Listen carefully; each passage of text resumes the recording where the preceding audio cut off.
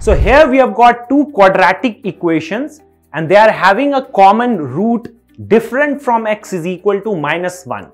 This quadratic equation and this quadratic equation, they are having a common root. Suppose that common root is alpha. So can I find the value of alpha from these two equations? So can I subtract the second equation from the first equation guys? b alpha minus alpha minus 1 minus b that is equal to 0 over here. So we can say that this is the common root over here. Alpha is equal to b plus 1 and b minus 1. So from here I can take b as common. So b square plus 3 will be left and that is equal to 0. b can be equal to 0 or b square plus 3 is equal to 0 over here. So therefore the modulus of b or the absolute value of b over here is root 3. So here we have got two quadratic equations and they are having a common root different from x is equal to minus 1 and we have to find the value of modulus of b. So let's start doing it. You see this quadratic equation and this quadratic equation they are having a common root.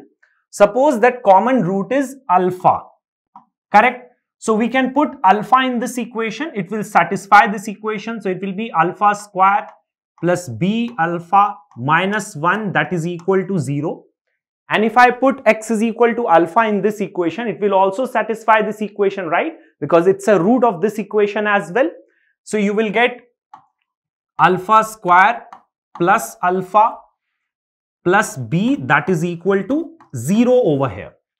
So can I find the value of alpha from these two equations? Suppose this is the first equation and this is the second equation. So can I subtract the second equation from the first equation guys? Equation 1 minus equation 2 over here. So you see alpha square and alpha square will get cancelled out and you see it is b alpha, b alpha minus alpha minus 1 minus b that is equal to 0 over here, right? So what I can do? Can I take alpha as common over here? So alpha into b minus 1 that is equal to b plus 1 over here. I hope this is clear. So from here we can say that alpha is equal to b plus 1 upon b minus 1. So we can say that this is the common root over here. Alpha is equal to b plus 1 and b minus 1. Now we have to find the value of b over here. So we can put alpha is equal to b plus 1, b minus 1 in any one out of these two equations. So suppose I'm putting in the first equation itself, you can put over here or you can put over here as well. So alpha is equal to b plus 1 divided by b minus 1. So you see this is b plus 1 divided by b minus 1 the whole square if I'm putting in the first one plus b into b plus 1 upon b minus 1 over here and then you have got minus 1 over here and that is equal to 0. So we can solve this equation guys for b. So let's solve this. So if I take the LCM of the denominators over here, we are going to get b minus 1 the whole square only, right? And over here it is b plus 1 the whole square. And then you'll get plus b into b plus 1 into b minus 1 minus, you'll be getting b minus 1 the whole square and that is equal to 0. I hope this is clear up till here. Let's simplify and solve this equation over here guys.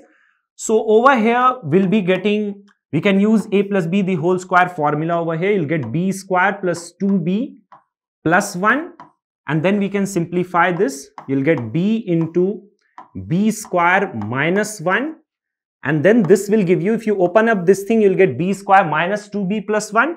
So if you open up the bracket, you'll get b square plus 2b minus 1 over here.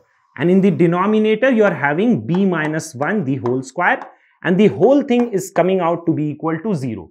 So you see over here b square and b square will be cancelled out plus 1 and minus 1 will be cancelled out. Let's simplify it further.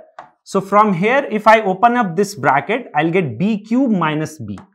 b cube minus b over here and you see this is 2b plus 2b. So that is coming out to be equal to 4b. And you see if the denominator is cross multiplied, it will be 0 into b minus 1 the whole square and that is equal to 0 itself. So over here, if I write it like this, b cube plus 3b that is equal to 0 over here.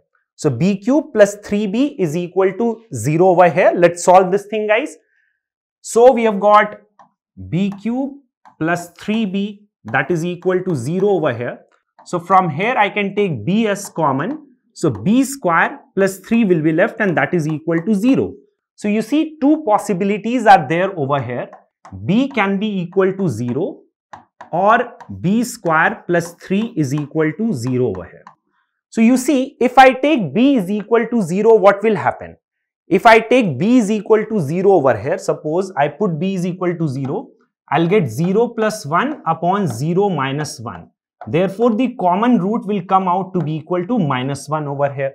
But in the question, it is mentioned that have a common root different from x is equal to minus 1. So, x is equal to minus 1 cannot be the common root, right? So, what does it mean? We have to neglect this value b is equal to 0, right? According to the question. So, from here, can I say that b square is equal to minus 3 over here? So I can say that b will be equal to plus minus square root of minus 3. Now square root of minus 3 can I write like this guys? Plus minus iota root 3 over here. I hope this is clear. Now in the question it is being asked that we have to find the modulus of b. So modulus of b over here will be modulus of plus minus iota root 3. I hope this is clear. So basically its modulus will be what? If you write it in this form, you see real part of this complex number is 0 but still I'm writing it so as to make you understand.